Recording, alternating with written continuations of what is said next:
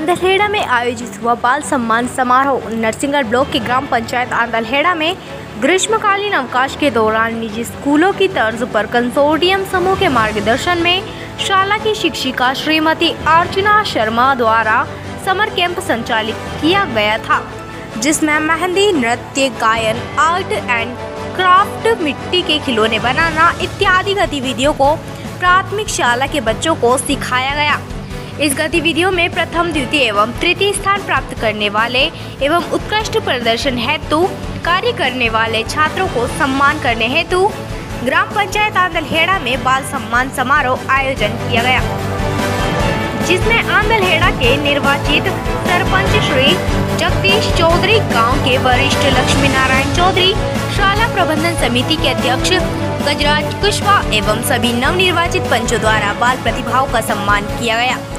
कार्यक्रम में कंसोर्टियम समूह के संचालक सुरेंद्र भादौरिया, सलील सक्सेना, संकुल प्राचार्य अरुण शर्मा, जन शिक्षक राजेश यादव, शाला प्रभारी श्रीमती रंजना शर्मा, श्रीमती अर्चना शर्मा, श्रीमती दीपिका गोयल, रमेश वर्मा एवं श्रीमती श्रीमती कुशवाहा जी एवं श्री करण सिंह जी उपस्थित रहे।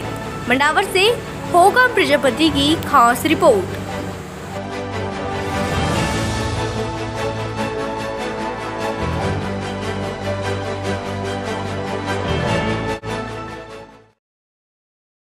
तो मध्य प्रदेश में नहीं, पूरे भारत में जाए, इसी में आपसे कामना रहा हूँ।